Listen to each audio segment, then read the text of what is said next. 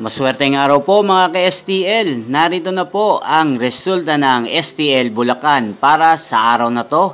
Naway ang mga natayaan niyo pong mga numero kanina ay manalo nawa ngayong oras na to. Good luck!